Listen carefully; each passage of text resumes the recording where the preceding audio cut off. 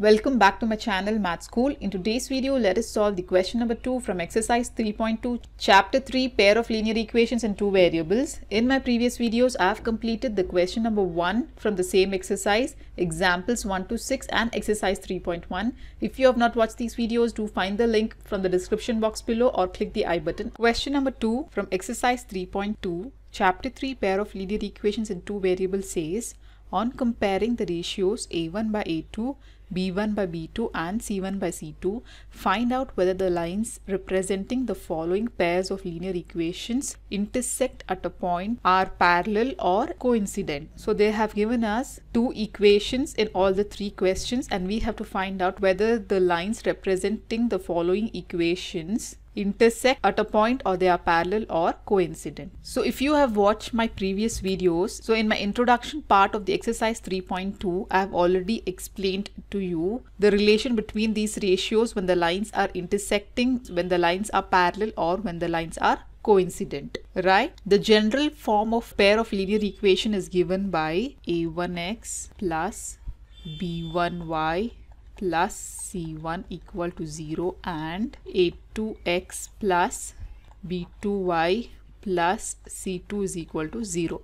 Now depending upon the ratios of a1 by a2, b1 by b2 and c1 by c2, we can find out whether the lines are intersecting, parallel or coincident. Okay. So the first condition when the lines are intersecting then the ratios a1 by a2 will not be equal to b1 by b2 okay? So when the lines are intersecting we obtain a unique solution at the intersection of the two points of the two lines which you have already seen in the previous examples and the question number 1 right? When we obtain a solution we can say that the lines are also consistent. The second condition is when the lines are parallel to each other. In this condition the ratio a1 by a2 will be equal to b1 by b2 and this will not be equal to c1 by c2 okay so at this point there will be no solution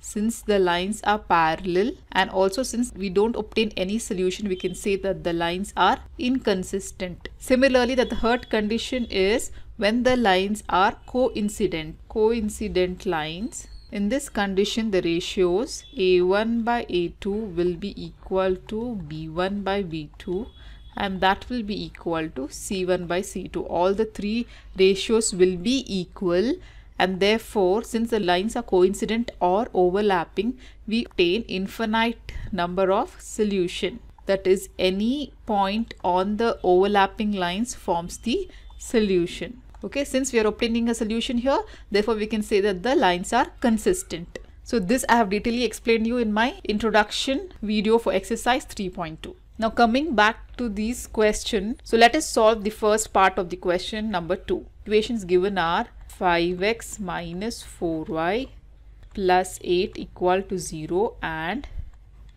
7x plus 6y minus 9 is equal to 0. Now comparing this with the general form of the pairs of linear equation, let us find out the coefficients that is a1, b1, c1, a2, b2 and c2. So from the first equation, what will be the a1 value that is the coefficient of x that is 5 then the coefficient of y that is b1 is equal to minus 4 we have to take the coefficients with the sign. Similarly, the C1 value that is the constant is plus 8. Likewise, let us take the coefficients in the equation 2 as A2, B2 and C2. The coefficient of X is here 7, coefficient of Y B2 is 6 and constant C2 is minus 9. Now using these coefficients now let us take the ratios of A1 by A2, B1 by B2 and C1 by C2.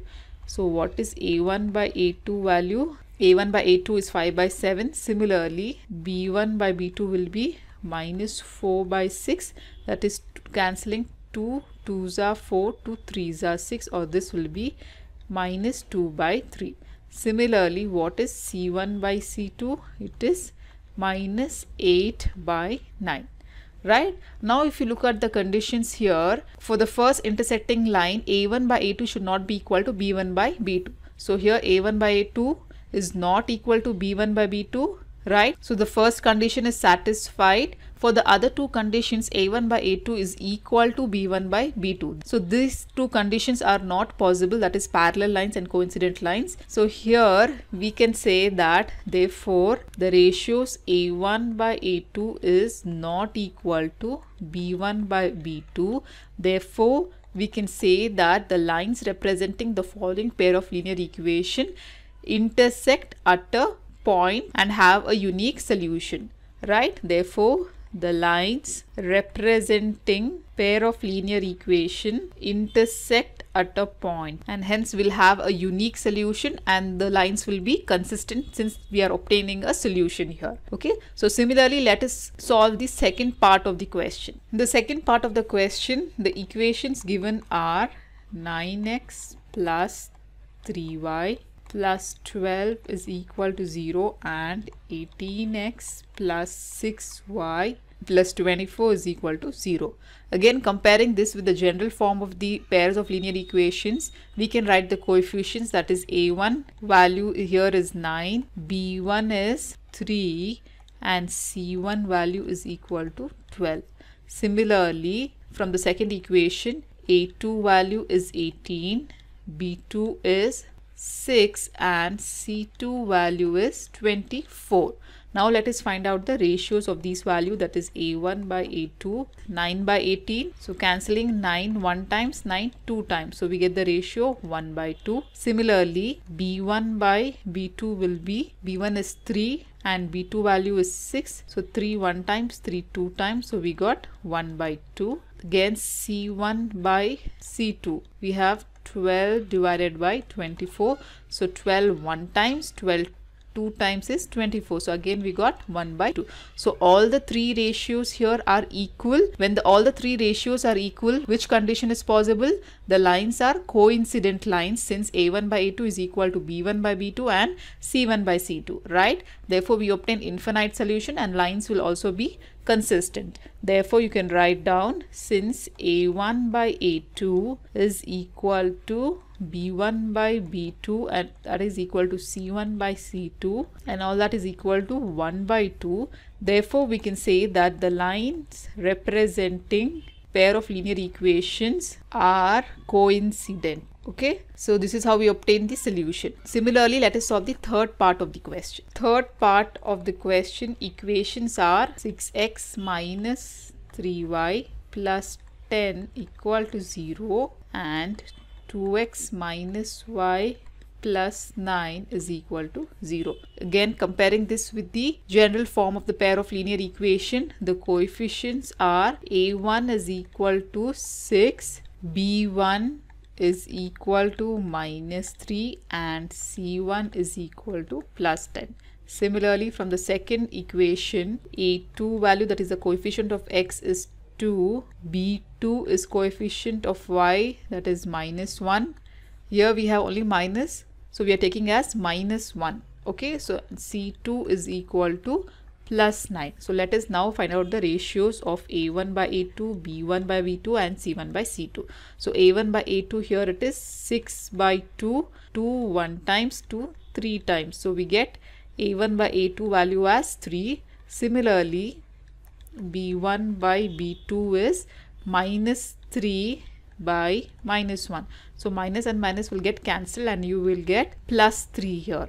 Okay similarly what is c1 by c2 10 by 9 so here if you observe a1 by a2 and b1 by b2 value is 3 so here a1 by a2 and b1 by b2 are equal right? A1 by a2 is equal to b1 by b2 and that is equal to 3 but what is c1 by c2 value? It is 10 by 9 right? So a1 by a2 and b1 by b2 are equal but it is not equal to c1 by c2 so that condition comes when the lines are parallel. That is a1 by a2 is equal to b1 by b2 and that is not equal to c1 by c2 right? So therefore you can write a1 by a2 is equal to b1 by b2 but that is not equal to C1 by C2 ratio.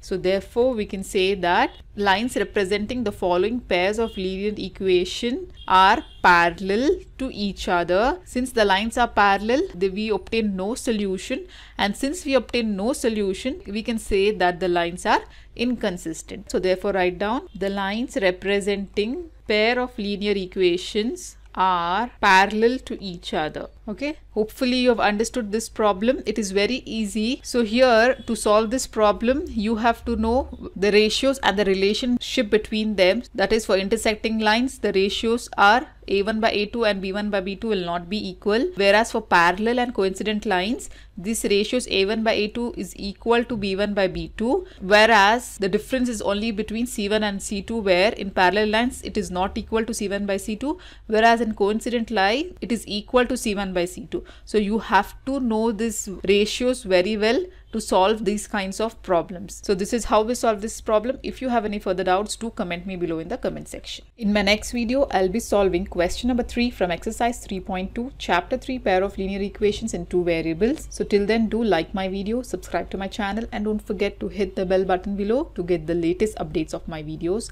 as I'll be completing the whole syllabus for class 10th SSLC NCERT Math. And also do watch the related videos of chapter 3, pair of linear equations shown on the screen. Thank you.